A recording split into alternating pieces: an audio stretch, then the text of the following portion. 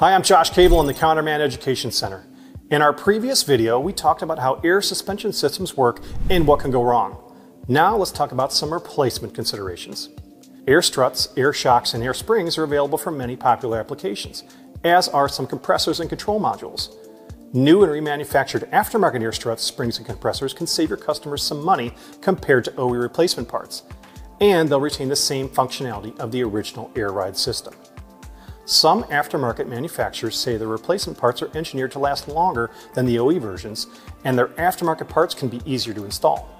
Even so, some of your customers might not be willing to invest the extra money to replace the air ride components on older, high mileage vehicles.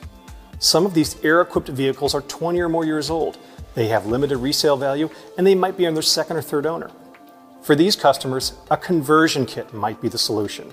In place of the air components, Conventional springs, shocks, or struts are installed to restore the ride height and stability. These kits are developed as a substitute for the air systems and are intended to be replaced in pairs. In some cases, four corner replacement is required. Conversion kits can be a cost-effective alternative to air ride replacement, but the original air ride quality can't be duplicated with conventional springs and hydraulic dampening. For a customer with a long dead system, the improvements will be significant, but if the customer expects as new air ride quality from a conversion, they're probably in for a letdown. Many of these conversions also require disabling any remaining electronics to turn off the various warning lights and prevent the compressor, if still functional, from cycling.